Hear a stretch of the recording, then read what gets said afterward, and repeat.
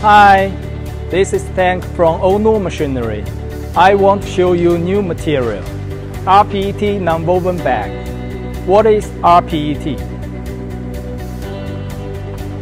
RPET is a new type of environmental friendly recycled fabric. Stands for recycled polyethylene terephthalate or recycled PET. PET is a strong, durable, and recyclable material that is used for soda bottles, water bottles. How to make RPET nonwoven bag? First step, recycling of discarded bottles. Washing, crushing into bottle flake. Second step, bottle flake are mixed with PET.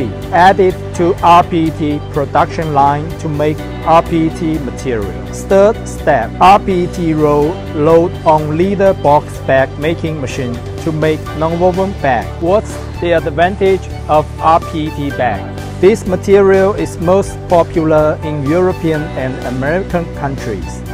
RPET can be recycling without downgrading, degradable and environmental friendly.